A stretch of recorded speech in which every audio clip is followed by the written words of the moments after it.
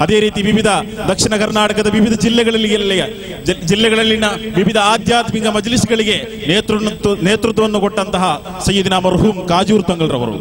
ಆಧ್ಯಾತ್ಮಿಕವಾಗಿ ಕೊಟ್ಟಂತಹ ಆ ಒಂದು ಉದ್ದೇಶ, ಆ ಒಂದು ಸೇವೆಯನ್ನು ಅವರ ಸುಪುತ್ರರಾದ, ಬಹುಮಾನ್ಯರಾದ ಫಜಲ್ ತಂಗಲ್ರವರು ಇವತ್ತು ಶೈಕ್ಷಣಿಕವಾಗಿ, ಆಧ್ಯಾತ್ಮಿಕವಾಗಿ, ಸಾಮಾಜಿಕವಾದಂತಹ ಚಳುವಳಿಗಳ ಮೂಲಕ ಇಲ್ಲಿ ಮುಂದುವರಿಸ್ತಾ ಇದ್ದಾರೆ. ಅಲ್ಹಮ್ದುಲಿಲ್ಲಾ ಕಿಯಾಮ ದಿವಸಗಳು